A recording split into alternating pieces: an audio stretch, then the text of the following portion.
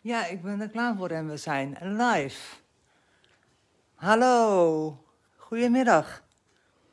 Live vanaf Cosa Crafts, want wij hebben een nieuwe serie stempels en deze keer uiteraard voor de kerst.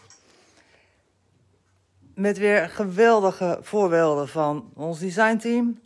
Anneke, Monique, Mirjam en Aletta. En voordat ik die aan jullie laat zien, Eerst eventjes heel wat anders. Nee, ik zal eerst eventjes de stempels laten zien, anders is het wel heel erg flauw, hè? Bovendien liggen ze hier nu toch.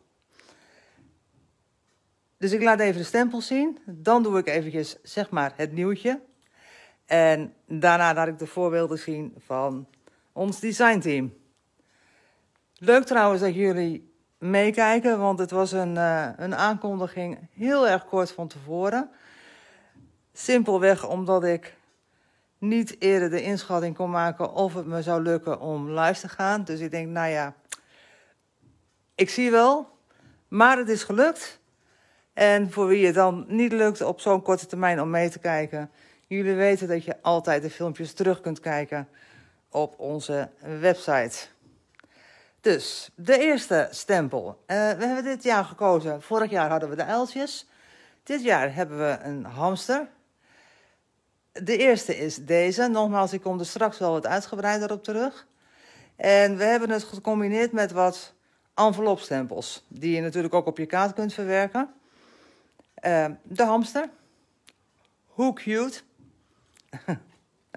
ik leg gelijk deze aan de kant. Voor straks. Dan hebben we ook nog de hamstertjes die een bord vasthouden met Merry Christmas, Happy New Year en Wishing You a Merry Christmas. En ook weer wat envelopstempeltjes. En dan hebben we deze en daar, ja, dit zijn allemaal tekststempeltjes, losse stempels die je dus los kunt gebruiken. Maar jullie zullen straks zien dat het ook erg leuk is om de hele sheet in één keer te gebruiken. Dus meerdere mogelijkheden. En dan deze, de kerstster. Nou, die was blijkbaar favoriet bij uh, ons designteam, want daar hebben we echt de meeste voorbeelden van binnengekregen. Zij weten dus niet van elkaar wat ze maken. Dus dat is altijd weer een verrassing. Uh, Anneke kan niet meekijken vanmiddag, begreep ik. Mirjam weet ik eigenlijk niet. Aletta en Monique kijken sowieso wel mee. Dus zo direct laat ik de voorbeelden zien. Maar wat we afgelopen week binnen hebben gekregen, is dit. Nou is het niet heel erg spectaculair, maar ik vind het wel heel erg leuk. Want vanaf nu hebben we namelijk ons eigen zwarte, gladde 300 grams papier in onze collectie. Zoals jullie weten doen wij erg veel met gilding wax. En dan is het belangrijk dat je um, goed papier hebt waarmee je embossingfolders um, goed kunt embossen. Dat wil zeggen dat je goed veel relief krijgt, zodat je daarna mooi met gilding wax eroverheen kunt werken. En we hebben dat nu binnen in uh, drie formaten. 10 vel A4, dus 300 grams en glad, ook belangrijk, want er moet geen structuur in zitten. Het is echt super fijn papier om mee te werken. We hebben een setje van 20 vellen A5. En we hebben setjes van 40 vellen A6. Dus A6 is zeg maar kaartformaat. Daar zitten er 40 in als je dat makkelijk vindt. Hoef je niet te snijden. A5 20 en A4 10. En dan is het gelijk leuk om nog eventjes een, embossing, een nieuwe embossingfolder te laten zien. Die hoorde, sorry, die hoorde eigenlijk bij de vorige collectie. Maar is wat vertraagd binnengekomen. En dat is deze. Een folder. Ja, cats. Hoe simpel kan het zijn? Allemaal katten. Uh, dus het is even een, een enkel exemplaar, omdat die bij de vorige collectie eigenlijk hoorde. Maar goed, dat maakt voor de rest niet zoveel uit. En dan laat ik even zien wat Anneke daarmee heeft gedaan. Echt, je gelooft het niet. Het is echt een Anneke weer. Hm. Ik zet hem even zo neer. Let op, dit is de bovenkant. En dan doe ik zo. De zijkant. Bewerkt met gilding wax. De achterkant. En de zijkant. En nu komt hij. Tada! Kijk dan. Wat Anneke heeft gedaan, is hier een opengewerkt uh, uh, stuk in gemaakt en daar de chicken wire achter. De, een van de stanzen die wij hebben. En daarin heeft ze allemaal blikjes gourmet kattenvoer gedaan. Uiteraard heeft ze dit allemaal zelf, uh, uh, zeg maar de maten allemaal bedacht aan de hand van die blikjes. En dan, wat zo leuk is, is dat die katten uh, snoetjes door die chicken wire heen kijken. Is het niet cute? Hoe leuk is het om dat cadeau te geven aan iemand die zelf katten heeft? Nou, en jullie kunnen natuurlijk gelijk zien hoe die embossing folder uitpakt. Dus de embossing folder Cats. Hij zal toch wel zo heten? Ja, hij heet zo. De Cats met een, een leuk voorbeeld van Anneke. Dus, dan gaan we nu door naar waar het allemaal om gaat vanmiddag. Onze kersttempels. En ik begin met de eerste. De hamster. Met dus vier envelopstempels erbij. En de voorbeelden. Het eerste voorbeeld is van Anneke. Anneke heeft weer een mapje gemaakt.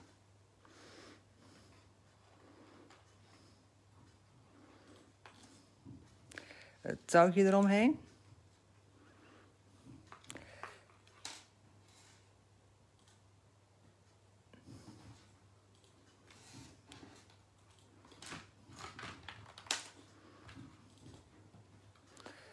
Een achtergrond, ze heeft gewerkt op kraftpapier, achtergrond met oxide-inkten.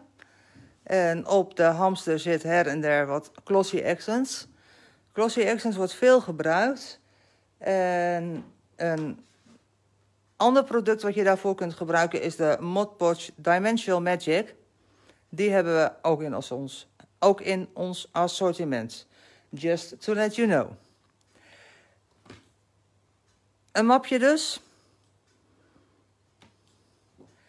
Um, waarop ze de envelopstempels hier heeft gebruikt.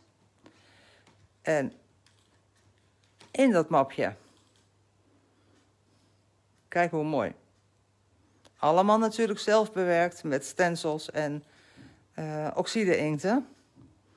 En een extra labeltje. Dit is van uh, onze collectie van vorig jaar. Even kijken, heb ik die hier liggen? Nou, deze net niet.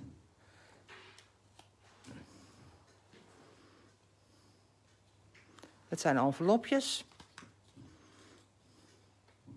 En in dat envelopje zit dan weer een leuk kaartje met de stempel van de volgende.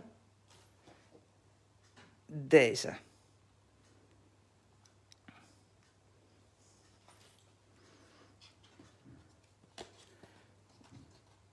Leuk dat ze op craft heeft gewerkt, want dan kun je ook gelijk zien wat ze zelf zei.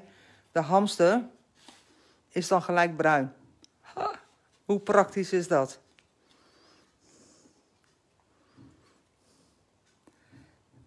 Een mapje als leuk cadeautje.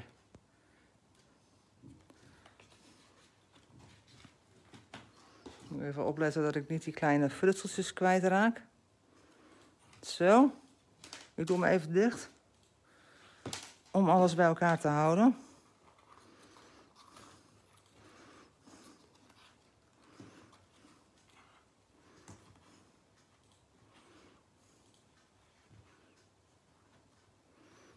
Zo. Dan blijft het netjes. Deze is van Aletta. En Aletta die heeft heel leuk hier een schutkaart van gemaakt. Kijk. Kijk of, of ik dat een beetje in beeld krijg. Zonder dat het altijd erg schittert. Maar jullie zitten, zien hieronder uh, zeg maar de sneeuw. Wat het voor moet stellen. En ze heeft het verhoogd met foam. En om het foam te verbergen, heeft ze daar een heel leuk twine, of terwijl dat bakkerskoord uh, omheen gedaan. En de kleur daarvan weer laten terugkomen in het mutsje en de mat die hierachter zit. En zo zie je, het is best een grote kaart trouwens hoor. Oh, zo. Hoe leuk gedaan. En hier zie je nog wat takjes en dingetjes. Um, even kijken. Ik zie de ballen, de kerstballen. Die komen uit de set van vorig jaar. Dat is deze. En de reindeers. Even kijken, komen ook die... Oh man, ik weet het eventjes niet. Die zullen ook wel uit die vorige set komen, of niet? Wacht even hoor, Sanne die gaat even kijken. Deze. Waar zit die? Oh, nee, ik zie het al. Nee, dit is niet deze. Aletta, help. Aletta kijkt mee, dus die kan antwoorden. Nou ja, in ieder geval, hier zit deze. En wat takjes om de rand zeg maar aan te kleden. Ik vind hem echt super leuk.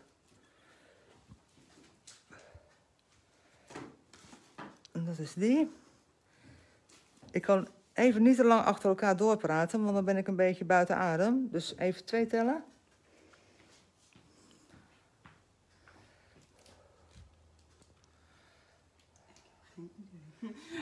Sanne heeft ook even. Oh, kijk nou. Dat is lekker slim. Dit zit op deze. Kijk dan. Hij zit gewoon hier een beetje verstopt. Bij de kerster. Daar zit hij dus bij. Die komt straks aan bod. Dan hebben we deze wederom van Anneke. Ook hier weer gebruik gemaakt van oxide. En Glossy Accents.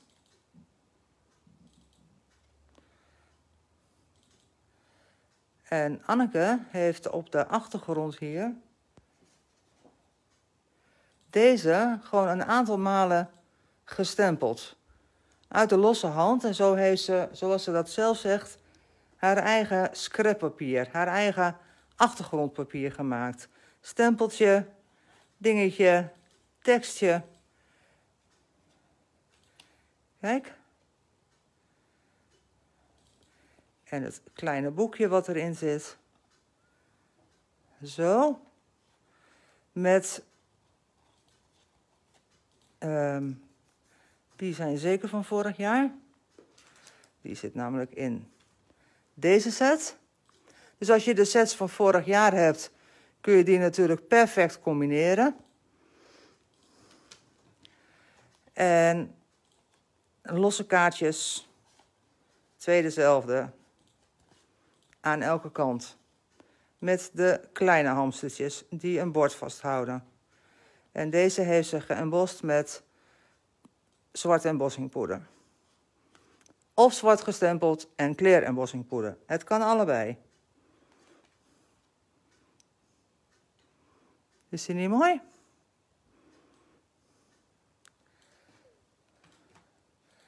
En dan als laatste voorbeeld van deze stempel. Deze van Mirjam. En Mirjam heeft dit gemaakt om te laten zien dat je deze stempels ook heel erg goed kunt gebruiken om een cadeautje leuk aan te kleden. Dus ze heeft dit, zeg maar, cadeautje gemaakt. Doe het open before of uh, doe het open until Christmas. En de ehm, stempel van de hamster erop gezet, ingekleurd. En dit is lava pasta waarmee ze het bont wat uit heeft laten komen. Kijk, zomaar een ideetje om als cadeautje onder de boom te leggen.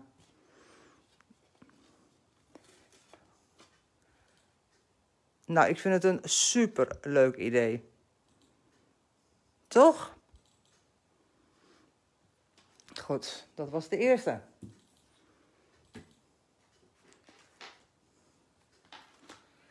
De tweede is dus de tekststempel.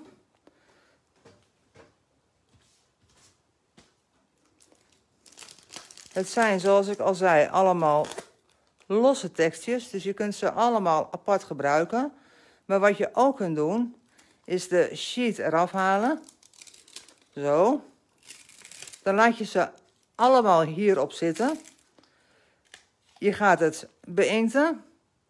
Dat doen we altijd op zijn kop, hè? dus de inkpad hier bovenop. En dan kun je die hele sheet in één keer stempelen. En dat zien jullie in deze voorbeelden. Dat heeft Monique hier bijvoorbeeld gedaan.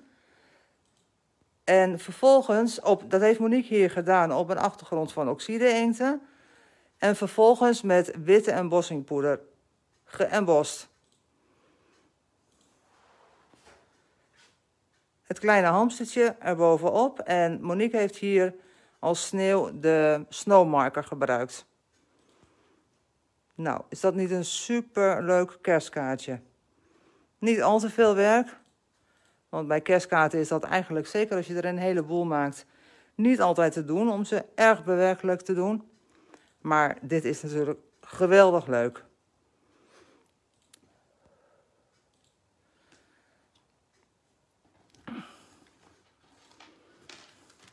Dit is een, een voorbeeld van eveneens een eenvoudige kaart. Deze is van Mirjam. Ik zal hem eerst even zo laten zien. Mirjam heeft een, uh, ik weet niet hoe je die dingen noemt. Uh, dit is van metaal. Dat zit er dus aan een draadje tussen. En kun je dus draaien. Je zou hem ook eventjes kunnen opwinden. Zodat hij... Even kijken hoor. Even kijken of ik dat kan doen. Zo. Als de ontvanger hem dan open doet, dan gaat hij, kijk, zagen jullie dat? Dan gaat hij ronddraaien, dat is het leuke. En hier heeft ze op uh, metallic papier de kerstroos gestempeld met Versa, Versa Mark en daaroverheen shine poeder gedaan. Dus dit is helemaal glad, want dat effect krijg je met shine. Dus eenvoudig, maar ik vind het stijlvol.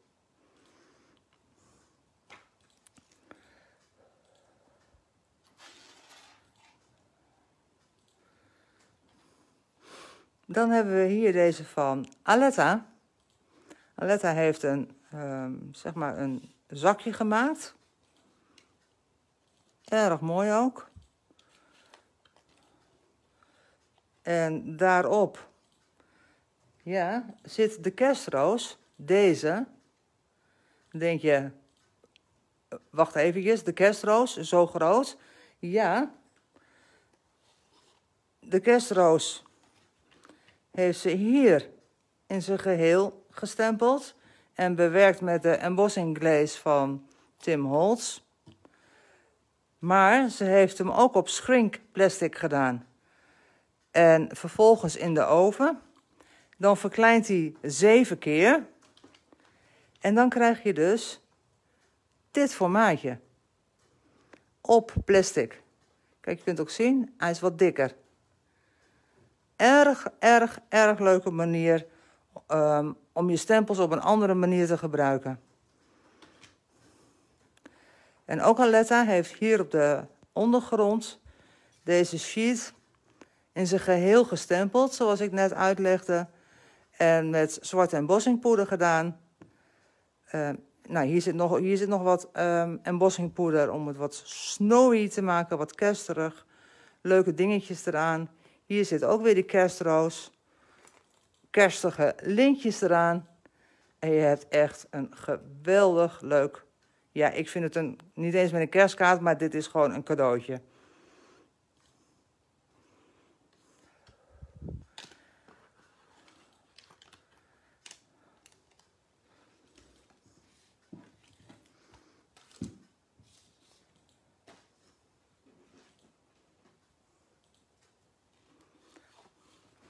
Dan de kerstroos. Hier zit dus, ehm, ja, die was ik net kwijt hè. De slee en de rendieren. Een envelopje met wat takjes. Ehm, wishing you happy holidays. Leuk om de, op de envelop bij te stempelen of op de kaart zelf. En do not open until Christmas. Dus twee, vier, vijf stempels weer in een set.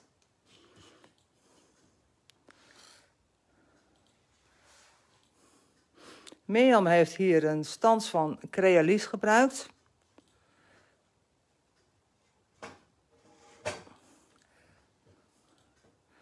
Die kun je natuurlijk uh, maken en gebruiken in de kleuren met het papier wat je zelf mooi vindt.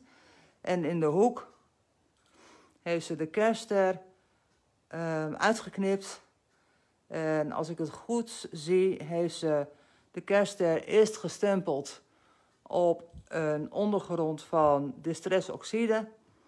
En uh, geëmbost met goud, waardoor je weer een heel ander effect krijgt. Dus gouden embossingpoeder, uitgeknipt en op de stand van Crealis geplakt. Ook erg mooi.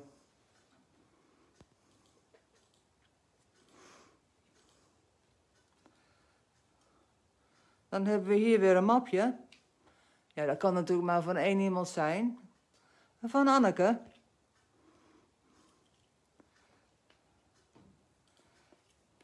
En ook Anneke heeft hier de kerstroos gebruikt.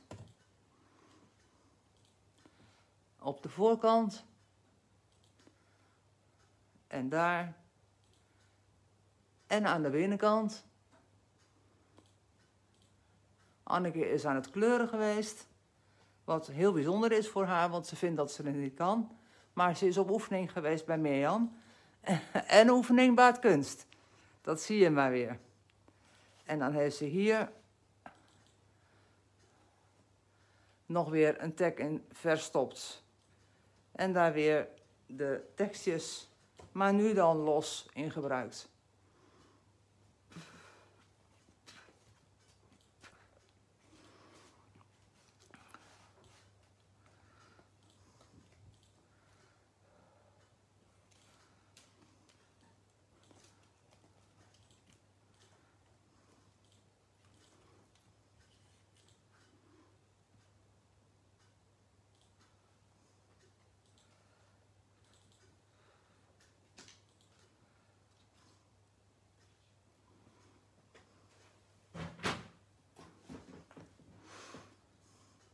Deze is ook van Mirjam. En ook hier is ze bezig geweest met de shine poeder. Dus een ondergrond van distressoxide. Daarop heeft ze de kerstroos gestempeld. En met um, shine poeder in goudkleur uh, uh, afgewerkt. Ik hoop dat ik dat een beetje goed in beeld kan brengen. Ik denk het wel. Ja, zo kun je het goed zien.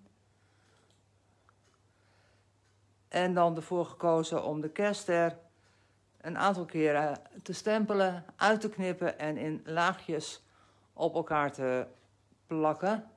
Zeg maar het 3D-werk. Verder geen toeters en bellen.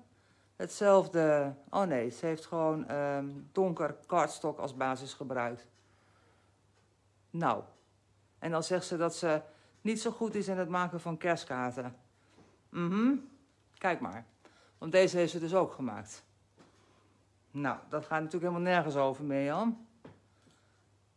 Want wat een geweldig leuke kerstkaart is dit ook.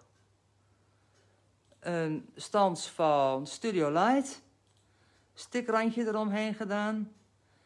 Even dat, een van die kleine tekststempeltjes erop gestempeld. De kerstroos, wederom uitgeknipt, maar nu gewoon één keer.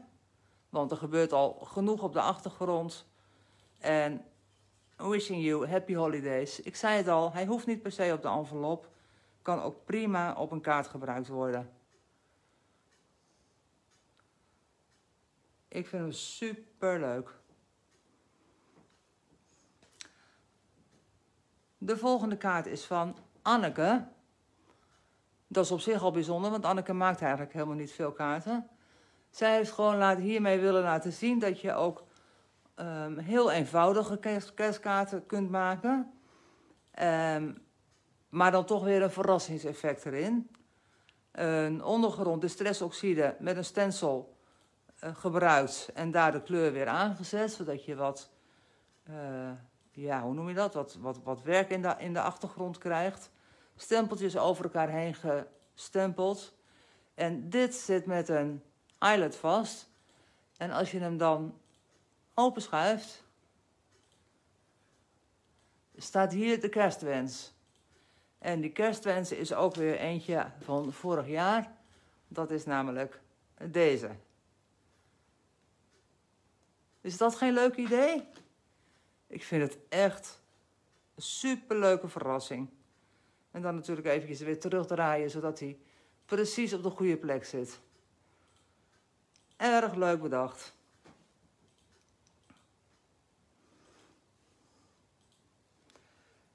Dan hebben we hier nog eentje van Monique. En Monique heeft een stans gebruikt van Studio Light. Deze stans is helaas al een tijdje niet leverbaar, maar we verwachten dat die toch binnenkort wel weer zal komen. Hopelijk, want hij is wel ernstig leuk. Ze heeft um, achtergrond weer van Distress Oxide. En dit is van Tim Hols, wat ze geëmbost heeft met, ik denk, de glaze. Maar dat kan ik lezen, want Monique heeft... Even kijken hoor, een luikaart, tag, kaart. Monique. Kaart. Tag. Is het niet? Hé, hey, die tag heb ik nog niet laten zien. Waar is die gebleven? Zo even onthouden. Uh, tag, Crealis, nee, kaart. Uh, oh, luikkaart. Hij staat bovenaan. Stans, boomschrijver, Tim Holtz. Uh, Distress Stain, Crackled Campfire. En een stempeltje, kerster. Ik vind hem helemaal leuk. Ik vind het echt een leuke mal ook. Jammer dat hij er eventjes niet is. En Mirjam heeft diezelfde mal ook gebruikt voor deze kerstkaart.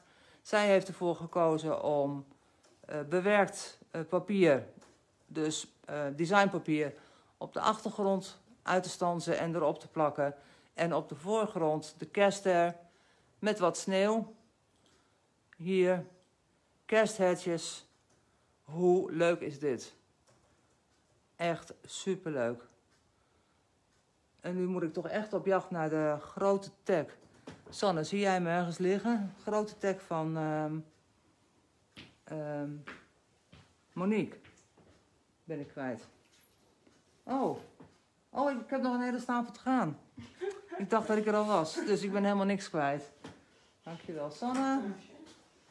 Die hebben we natuurlijk ook nog. Oké, de grote tag. Nou, laat ik hem dan maar gelijk pakken. Hier is die, van Monique. Met op de achtergrond een nieuwe stans van Joy. Erg leuke stans. Dit is een tag, uh, ja, een tagstans van Crealis. En zij heeft het hamstertje erop gedaan met een wobbel erachter. 1, 2, tada! Mensen toch niet, die nog niet wisten wat een wobbel is. Dit is een wobbel. Nou ja, dat wil zeggen, de wobbel zit erachter. Het is een springveertje. Kijk, en als je dan dit doet, dan gaat hij draaien. Hoe cute is dat? Erg leuk.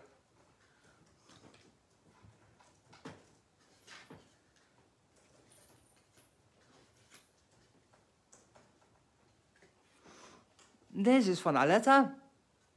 Aletta heeft een cirkel voor een deel uitgestanst, wat een heel erg leuk effect geeft.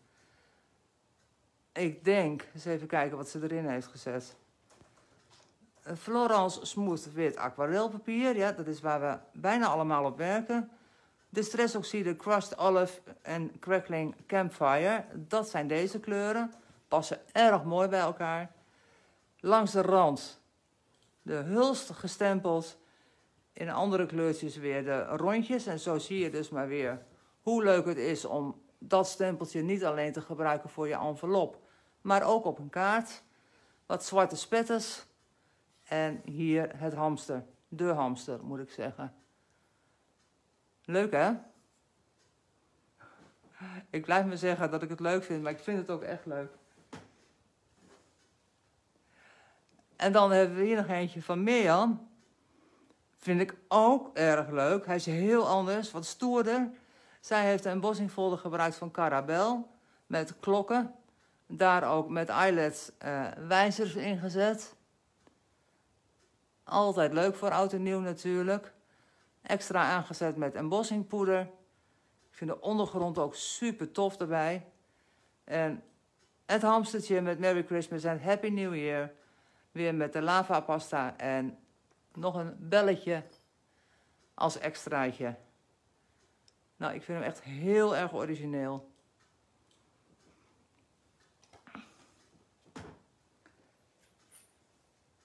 En deze vind ik ook super origineel. Van Aletta. Een cirkel. Uitgestanst. En in het midden gerild. Kijk nou hoe schattig. Uiteraard heeft ze die cirkels nog een keer herhaald. De tekst weer van deze uh, met uh, Versafine, Versa, Versamark gestempeld en witte embossingpoeder. Dat gaat natuurlijk heel erg goed op zwart. En ook de hamster heeft ze geëmbost, waardoor het weer mooi matcht met, met dit strikje. En de belletjes maken het natuurlijk weer helemaal af. Het zijn de kleine dingen die het hem doen, hè? dat zie je maar weer. Ik vind hem echt heel erg origineel. Leuk kaartje. En dan heb ik als laatste nog iets van Monique. En dat is dit. Die heb ik natuurlijk expres bewaard voor het laatst. Want ik heb dus zelf geen idee wat erin zit. Maar ik vond het zo ontzettend leuk verpakt. Dat ik dacht, dit ga ik live uitpakken. Dus dat gaan we nu doen. Hoe spannend is dat? Maar kijk nog eventjes naar hoe ze het heeft verpakt. Het is een tinnen blikje, dat voel ik en dat hoor ik. In vloeipapier. Daaromheen weer dat bakkenstouw. Met wat leuke decoratiedingetjes. Een ticket van Tim Hols.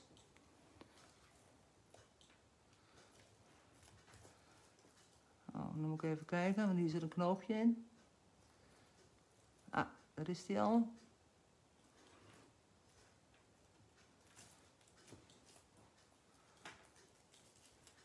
En dan wil ik dat natuurlijk heel houden. Het lukt bijna.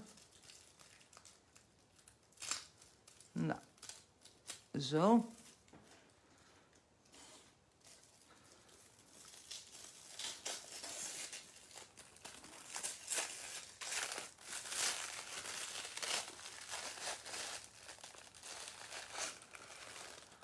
Nou, doe nooit open before Christmas. Nou, dat moet ik nu maar even negeren dan, hè.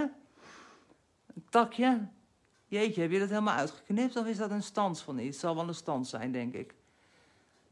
Een accentje. Ik had het net over, het zijn de kleine dingen die het hem doen. Dat zit hier met, ik denk iets van glitterlijm. Of iets dergelijks.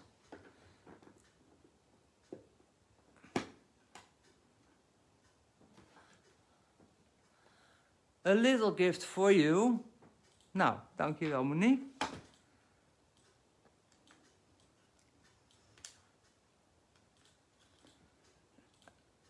Wacht even hoor. Oh, kijk dan.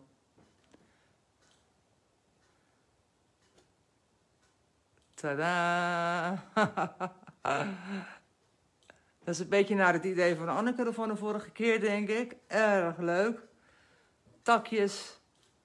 Uh, weer dat stempeltje. De rendieren. En op de ondergrond, ik denk... Ik ga niet denken, ik ga gewoon kijken wat ze heeft opgeschreven.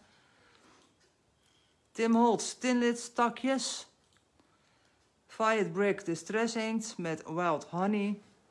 300 gram zwarte kolenpeper. Ik zei het al, dat, wordt, dat gebruiken we allemaal heel erg veel. En stempels uit verschillende sets.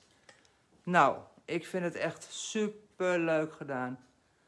Wat een leuk cadeautje voor onder de kerstboom. Geweldig. Kijk, en zij heeft hier gewoon één zo'n tekstje gebruikt. Dus het kan in zijn geheel. Je kunt het los gebruiken, net wat je zelf wilt. Even de twine weer vastmaken.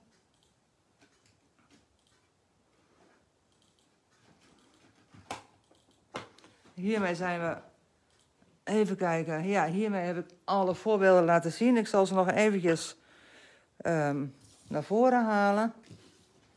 Even heel snel de revue laten passeren. Deze van Anneke die je op zo open kunt doen. Van Mirjam. Is ook van Mirjam. Nog een Anneke. Mirjam, dat is toevallig. Aletta. Met de prachtige tag en de krimp, gebruikte krimpfolie.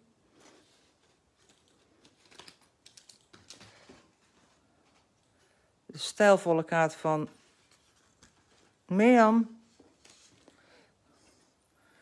De cutie van Aletta.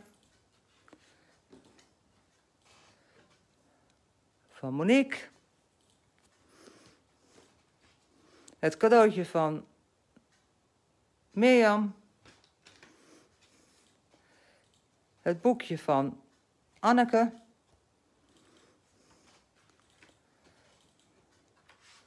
De schutkaart van Aletta.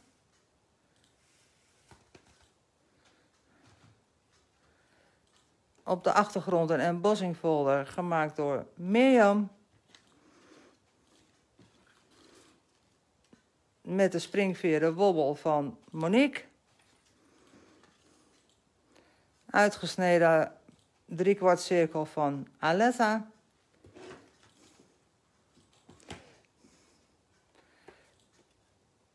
Deze twee van Monique en Mirjam. Nou, het is weer een hele, een hele uitdragerij hier. En dit mapje van um, Anneke. Waarmee we toch echt aan het einde zijn gekomen van deze live. Ik vind het super leuk dat jullie op zo'n korte termijn toch nog mee konden kijken. Um, en ik hoop natuurlijk dat jullie het weer de moeite waard vonden. Dat jullie de stempels leuk vinden. Dat uh, de voorbeelden die er gemaakt zijn um, inspiratie gegeven om er zelf mee aan de slag te gaan.